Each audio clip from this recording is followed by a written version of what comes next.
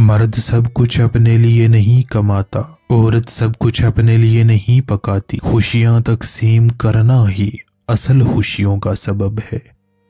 माँ कहती है, मेरी चंदा, मर्द उस औरत का कभी नहीं होता, जिससे वो छुप छुप कर मुलाकातें कर चुका हो।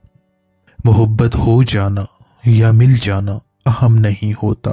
मोहब्बत को ज़िंदा रखना और इज़्ज़त देना अहम होता है। तभी रिश्ते बनते हैं। अल्लाह पाक ने औरत को बहुत कीमती और पोशीदा बनाया है। खुद को हर मर्द में बांटकर अपने आप को सस्ता और घटिया ना बनाए। अगर कोई औरत मुकम्मल पर्दे में हो, उसके बावजूद आप उसको ताड़ रहे हो तो मसला आप में है, औरत में नहीं। किसी नाकदरे शख्स से मोहब्बत करना ऐसा है कि जैसे आप सोने के प्याले में उसे आब हयात पेश करें और वो उसे होठों से लगाने की बजाय अपने पैर धो ले। जो मर्द औरत से सिर्फ़ ज़रूरत पूरी करने के लिए मोहब्बत करता है, वो तीन बहाने बनाता है। नंबर एक, निकाह का कहेगा, लेकिन घर वालों को नहीं भेजेगा। नंबर दो, मीठी मीठी बातें करेगा।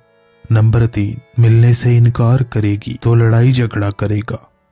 मर्द अमीर हो तो औरत को मोहब्बत होने में देर नहीं लगती।